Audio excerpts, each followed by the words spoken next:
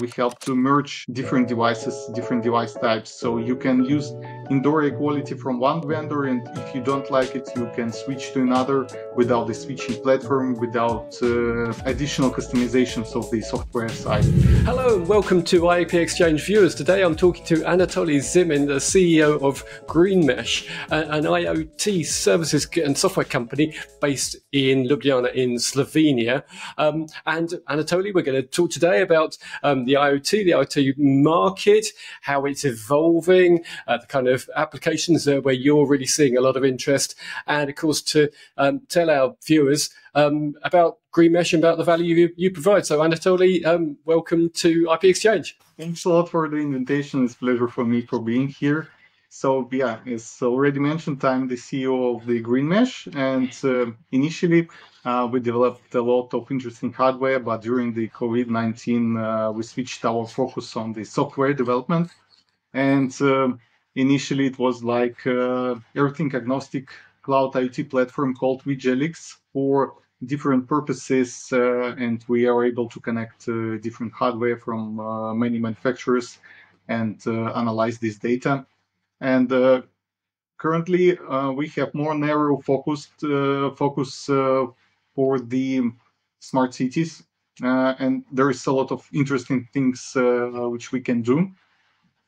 So uh, it's including uh, smart irrigation, public parks, uh, building optimization, detecting on the equipment faults. so we help to um, cut costs on the maintenance, on the energy, water consumption and for sure some buzzwords uh, will help to use uh, CO2 footprint.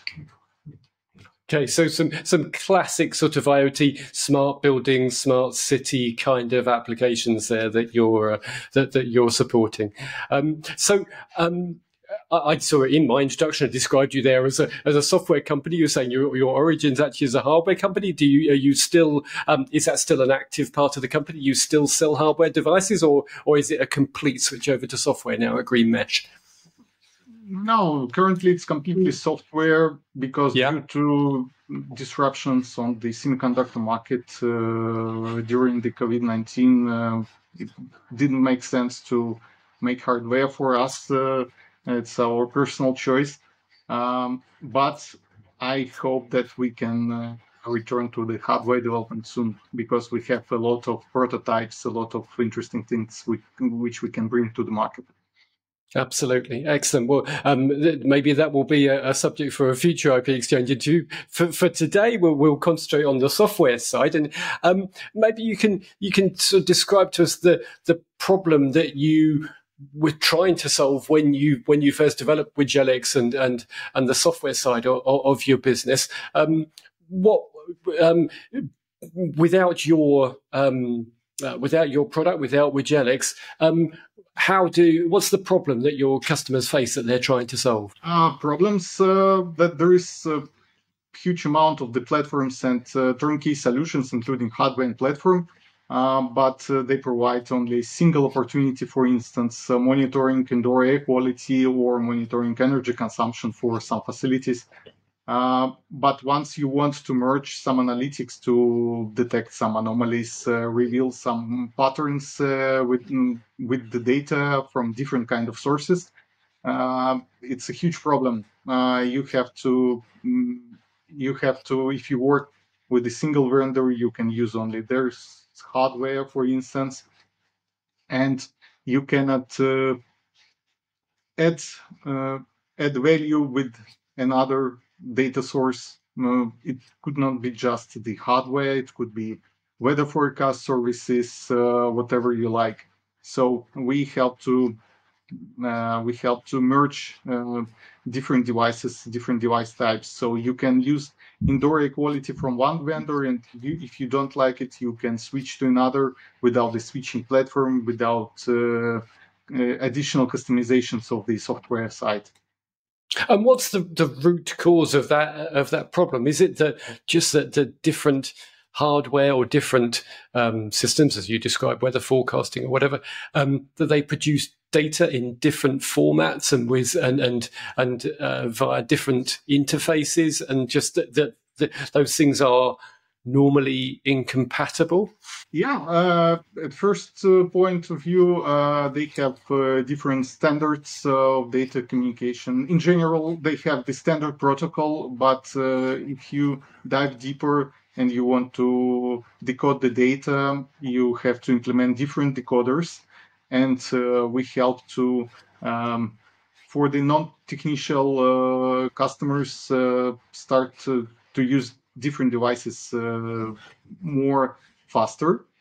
So, and, uh, and even platform could support just one connectivity if we are speaking about LoRaWAN, Sigfox, or NB-IoT.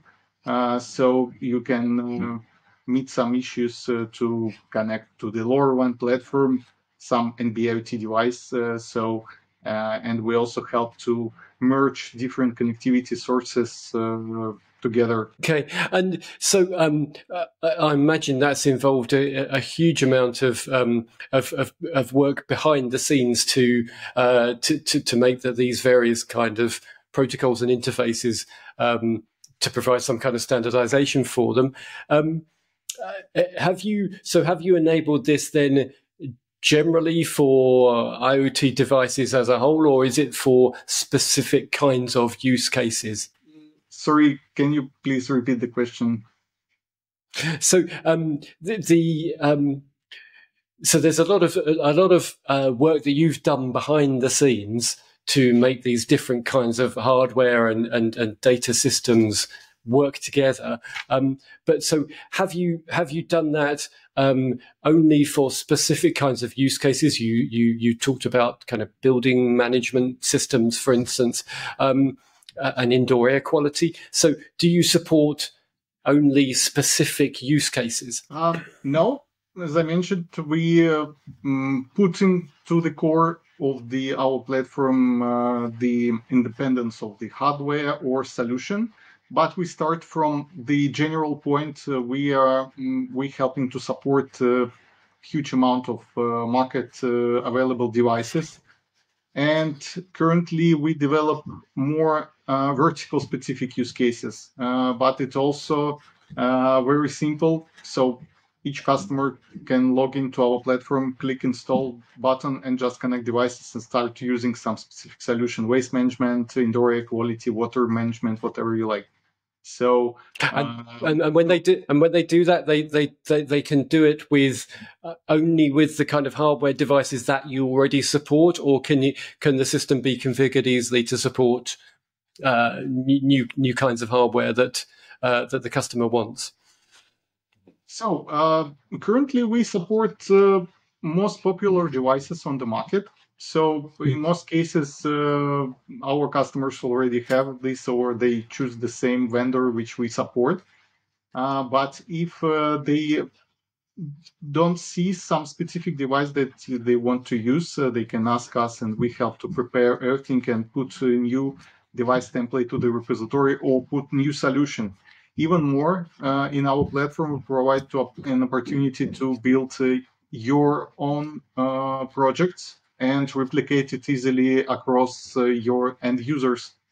For instance, you can uh, uh, you, you can build the project inside Widgelix with indoor air quality. You can put it into the private repository, create new user account and install it and just connect the sensors and you will get the same application within seconds. Okay. So um, uh, is your uh, are you finding that your system is then enabling your customers to uh, to do things with IoT devices, with with sensors and so on that they have never been able to do before, or is it more that that you're that they're doing the things that they were always doing, but it's become easier for them to implement? Um, so currently, there is some technical uh, um, some technical issues might become for the non-technical uh, customers because they still need to deal with the connectivity um, stage. If we're speaking about lower LoRaWAN, you should have mm-hmm. maybe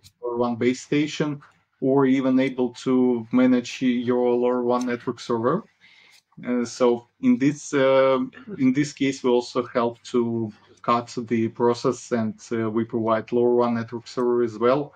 Um, but yeah, you need some initial skills uh, to connect base station at least, or use the uh, public one. But also we provide such kind of services to uh, full onboarding and provide turnkey services. Okay, so uh, uh, and I, I guess. Um, the, the, kind of situation you're describing there is that, as you say, there there are there are implementation issues which require some kind of technical capability. Um, I guess you find that there are some customers who, who will maybe look to a company like uh, like Honeywell, uh, so one of the big, um, very well established uh, hardware providers, uh, and, and, and a company like Honeywell would be able to say to a customer, well, you don't need to worry about um, integrating all these this diverse set of hardware from from different manufacturers. You can just use all Honeywell equipment, and it will all work together, and will provide the the, the, the software platform to, uh, to to fuse the the data from different Honeywell sensors, and it will all work together perfectly. I, I guess that's kind of uh, the part of your competition that you face. Uh, yes, sure. Um, I have actually examples uh, in, in, such conversations. Uh, we have a few clients, a few customers uh, who installed uh, sensors and platform from large company. I, I, could, I, could, I just don't want to name it. So uh, for, for for the data centers, uh, it's uh, fire security, access security system. Uh, they have a pretty huge uh, number of devices.